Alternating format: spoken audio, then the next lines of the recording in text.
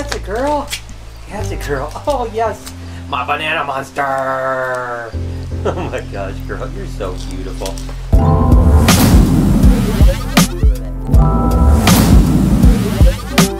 Hey, good morning everybody and welcome to the vlog. Lucy left me a little gift, not too terribly bad, but she is definitely perched up here and looking like she is about ready for a meal. So I think I might thaw some food out for her and feed her tomorrow. I'm not 100% sure. Just a little clean for you, girl. And I tell you what, it is amazing. You just walk into a cage like this, she has got her eyes focused right on me. People that think that snakes are not intelligent are crazy. I mean, there is no doubt. She is looking, she's trying to figure out, her eyes are focused completely on me. She's making slight amount of movement. I am forever just fascinated how incredibly amazing these animals are. And again, for people that don't think they're intelligent, they haven't been working with them long enough. Regardless, I hope the start of your day is absolutely incredible. We're gonna have a fun day together. And I'm not gonna lie, I've got a lot of things to talk to you guys about today because you know, I'm just back from Mexico. I'm energized like I had mentioned yesterday, and I really had a lot of time to think about things and move forward with a handful of projects. So I wanna talk about some of those today if you guys don't mind. The first thing I really want your opinion on, and maybe even help for some of you, I'm not 100% sure, is that it's really bothered me over the last year or so that I have my other channel, Snake Bytes TV or Animal Bytes TV, same exact channel, that has close to 800,000 subscribers,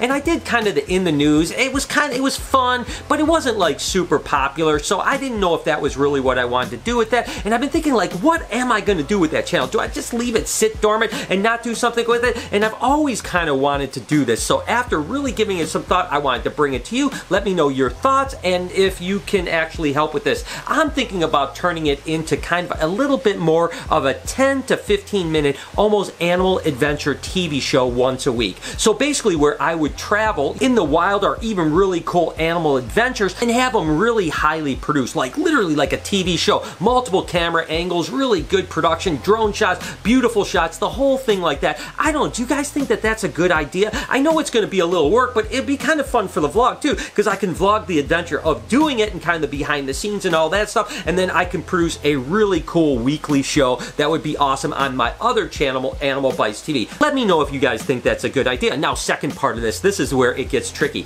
I don't have the time, energy, or anything I have to do the editing and all the producing of something like that. So what I really need is I'm looking for like two people to join my team. Basically, I need them to be able to work cameras as well as at least one of them to be able to edit and kind of produce something like that. That way I'm just kind of the guy in front of the camera, if you know what I mean. I can do my vlogging stuff and they can do the producing and produce some really crazy things. Now, I really prefer those people to be here in Michigan so we can be working really directly, but I'm open to anything. If you think you would like to join along, listen, there's probably not going to be a lot of pay on the front side, but maybe if it gets popular, there's going to be some advantages on the back side. We can talk about that if it's something you're interested in. Again, good with cameras, good with editing, good with producing stuff like that. And hey, if nothing else, you could get maybe a free trip to Africa, get some free trips around the world, and we can have some fun. And hopefully, if it gets popular, you can make some money on it. I'm not 100% sure. So again, do me a favor, if this fits something that you're interested in, hit me up at info at bhbreptiles.com, put attention Brian, and I will get the email and we can communicate. And I want to know from you guys, do you like the idea?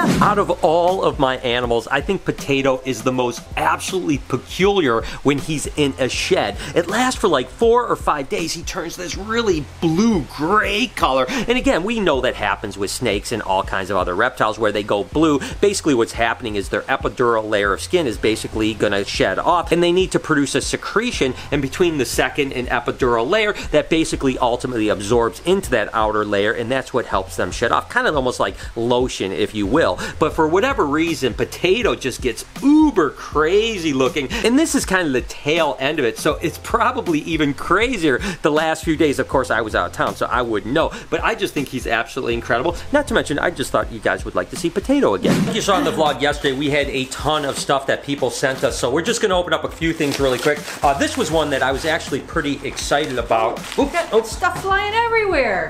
Okay, What is this? Uh, this is actually pretty cool. Ch- take a look at this. This is actually Stay, Stay Positive. Stay Positive. And uh, some shirts that I absolutely love. Stay Positive. All right, this is yours. It has Yep. pink on it. stay positive. But these are stay positive. Now the deal is, is actually this is a really great story, Lori. So I'm going to put a link in the description to this company, Stay Positive. This guy was actually a younger guy that got cancer and beat the cancer, and then oh. started a company called Stay Positive Very Apparel. cool. And I believe a lot of their proceeds go to like helping other people, cancer patients, stuff like this. So absolutely love it in this crazy world of negativity and drama-filled interwebs, as you guys certainly know goes I love messages like this. Stay positive, and I am absolutely going to be sporting the Stay Positive shirt because I, I tell you that's that's my message. Stay positive. Don't get caught up in the drama and all the negativity because it's like Gary V. Gary Vaynerchuk says. Negativity wins the short game, but positivity always wins the long game. So, you know, for the people that want to be negative, it may get you some attention now, but trust me, in the future, it's going to come back to bite you. So stay positive. Thank you for sending me these. These are awesome. I just started to use oil pastels to make pictures, so I'm in no way very talented. I love when you guys send me art. I enjoy your vlogs very much, and I wanted to give you something back as a way to say thank you. So thank you so much. This is actually from Mel Day, so uh, awesome. I appreciate it, and I'm going to look at this at the same time as you are. Look at that.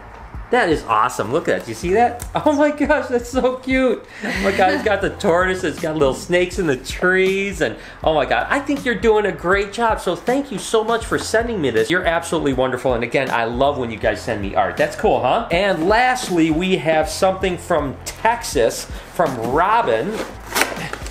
Muscles, come on. Okay, so we got a box. Hope it's not breakable. Uh, here, you, you take that.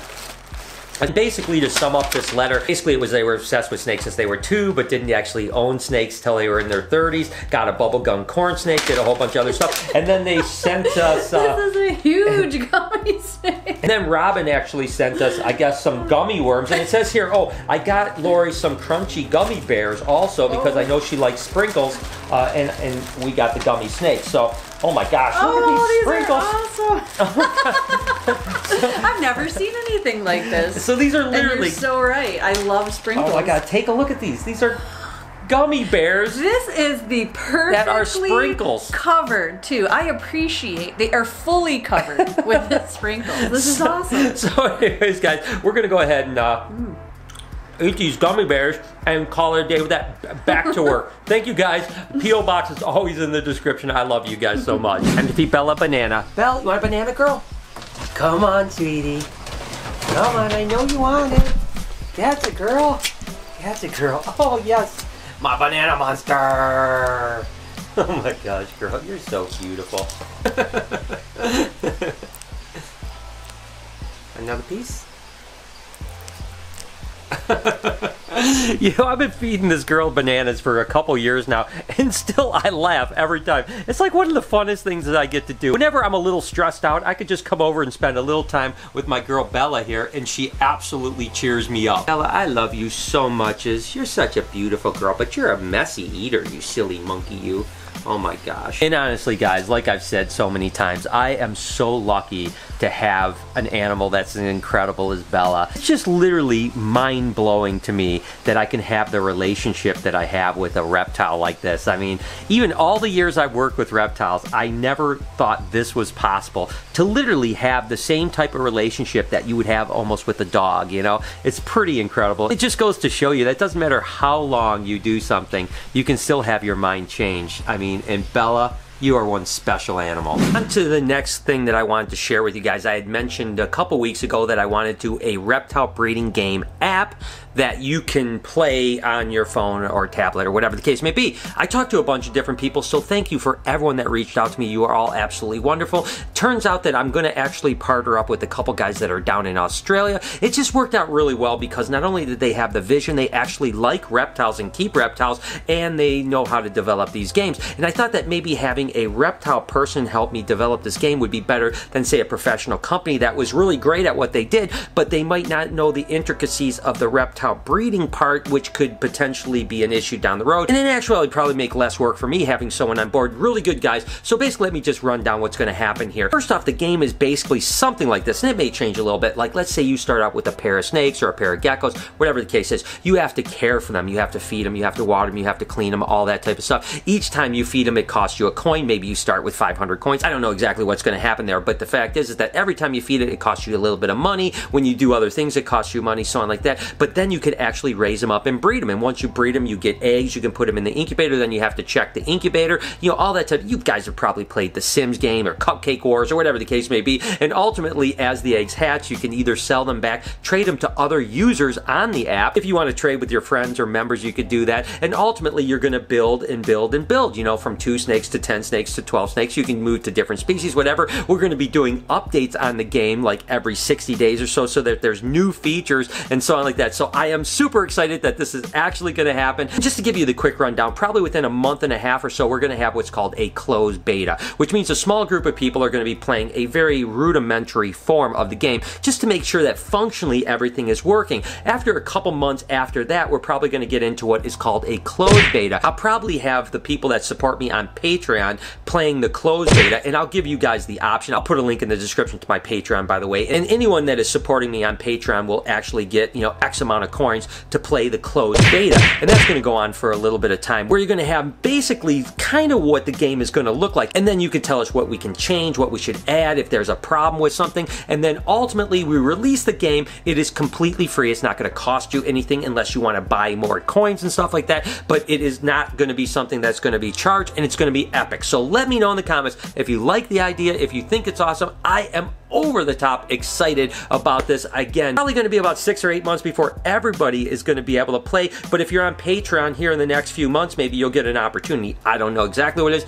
I'll keep you guys updated. Let me know what you guys think. And while I'm talking about ideas, you guys may remember that I had that secret box or 400 of them. I tell you what, I'll tell you guys tomorrow in the vlog what's in those boxes. How does that sound? I know I'm gonna make you wait one more day, but uh, tomorrow I'll spill the beans on that one. And a lot of you guys may not know that I was actually a Boy Scout when I was younger, so right now I'm doing an event for a Boy Scout group, which is pretty exciting. So it should be an absolutely amazing time. And again, how this always works is that we just let everyone kind of come in, get the lay of the land, look around, stuff like that, and then we'll do like a quick like 40 minute presentation where the kids can learn a little bit about the animals, they get to touch them and stuff like that, and then afterwards we'll probably do some pictures and stuff, but it's pretty cool. Again, there's nothing that I love more than when kids come in and get excited about animals, and uh, as you can see, everyone's already super excited. It's gonna be a great event.